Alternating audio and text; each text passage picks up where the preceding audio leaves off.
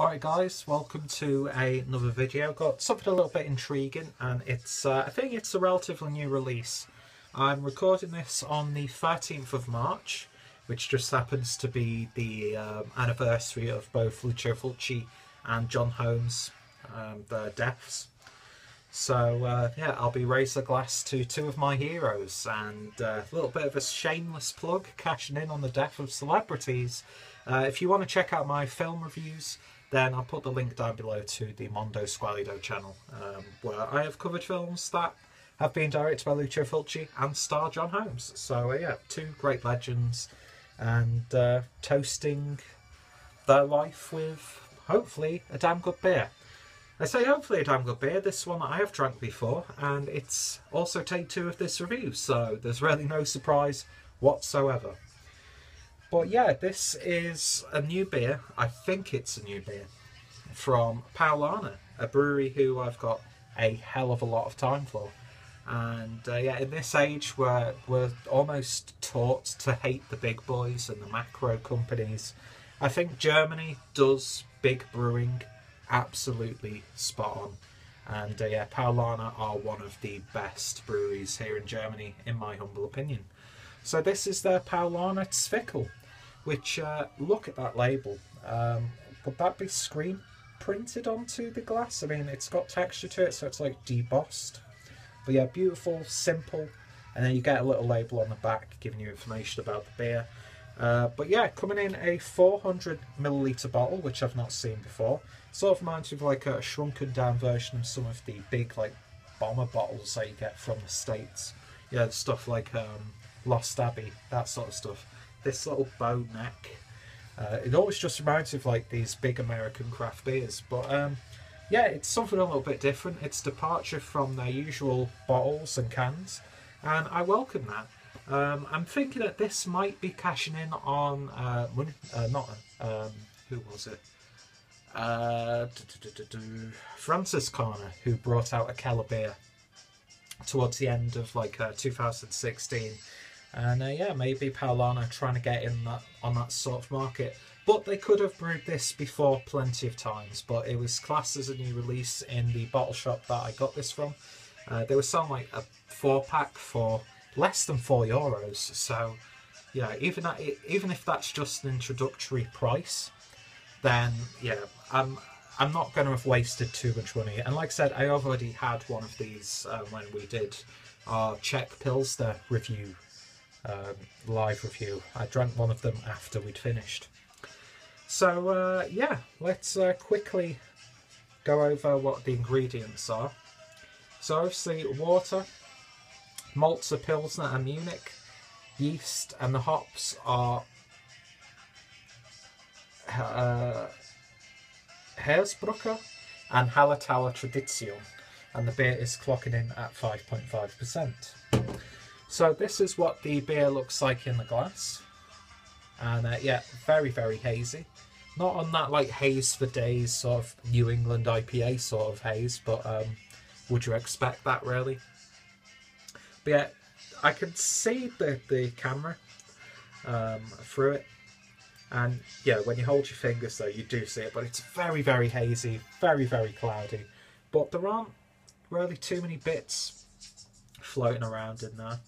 Um, it sort of reminds me of like a, a, cloudy honey almost. Got this lovely orangey, yellowy sort of tone to it. And uh, yeah, beer poured. Well, when I initially poured it, it was a beautiful looking beer. You know, I very rarely pour a beer really, really nicely on camera. But of course, when I do, I decide to do another take of the fucking video because that's what I'm like. But um, yeah, lovely white head, and it seems to uh, be sticking around just like a layer of it.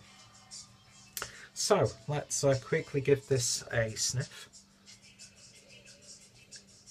I'm getting like a, a slight orangey aroma there, like a very faint orange juice.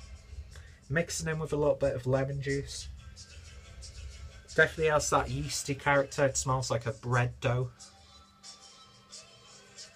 Lovely, gentle, spicy tone as well. Sort of like a, a white pepper, maybe, but very, very gentle. It's got this grassy aroma. It's got like a like a dirt aroma to it. Not like dirty, like disgusting, but like how do I best describe it?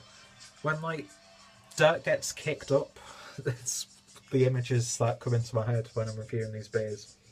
But yeah, very earthy, very herbal like. Uh, yeah, it smells really, really nice, but it's it's nicely balanced as well. So we'll give it a quick taste and see what we get. Cheers.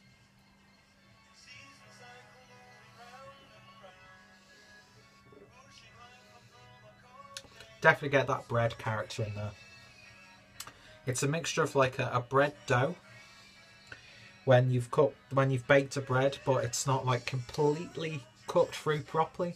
It's edible, but it's quite stodgy. That sort of flavour. And you've got a bit of the bread crust in there as well with a bit of flour sprinkled on. That's the sort of flavour that I'm getting straight away. That gentle pepperiness comes through once again. Slight hint of a yeast in there also. And a lovely gentle hop character on the back end. It's a very well balanced beer. Um, is it going to set the world ablaze? Not really. Um, the, this sort of style and the subgenres of this style they don't really tickle me too much, um, and they're ones that I go to every now and then. But when I saw that this was a new beer from a brewery who I really, really like, I thought, you know, I'm going to give it a go. And I bought four of these for less than four euros. I'm going to happily finish the rest of these beers. And not just drink them for the sake of it, drink them to enjoy them. You know, this would be perfect with most dishes. Um, I could definitely see this working absolutely perfectly with a lovely cheddar and maybe a rye bread. I think the flavour profile of this beer would just complement and almost accentuate those flavours, if that makes sense. But it, it's just lovely how gentle it is. And it's pretty much like bread, bread, bread for me. With a little bit of herby characters, a little bit of white pepper. Real sense of density to it. Um, I mean, it's only 5.5%, but you wouldn't want to drink all four of the bottles really quickly uh, because you'd feel a little bit heavy on the gut, if that makes sense. But yeah, very enjoyable beer, and probably one of the best uh, Zwickel beers that I've had uh, from my somewhat limited experience. And yeah, Paulaner, do it again. Very solidly crafted beer, uh, high quality ingredients. They don't, you know, let quality go out of the window, you know, because they produce so much beer like some macro uh, breweries. But yeah, it's it's a great example of a style that I don't really care too much for, if that makes sense. But in terms of a rating, so gassy right now. Um, I'm going to give this one an 8 out of 10. Um, definitely worth picking up if you come across it. And uh, yeah, it's another solid Paulaner beer. So if you have tried this one, uh, even if it is indeed uh, a relatively new or old beer, then let me know your thoughts and opinions. What are some of your favourite Zwickel beers? Uh, what you think of Paulaner, that sort of stuff. Uh, check out my uh, Zwickel playlist down below. Check out Paulaner. Check out all the usual gubbins in the description box. And of course, if you like your films, more like sleazy exploitation cinema, then the link to uh, my review channel is down below also. So, um, yeah, to you guys, I raise a glass, and to uh, Lucio Fulci in your homes, I also raise a glass. So, thank you guys for watching, and I shall hopefully see you all later. Cheers.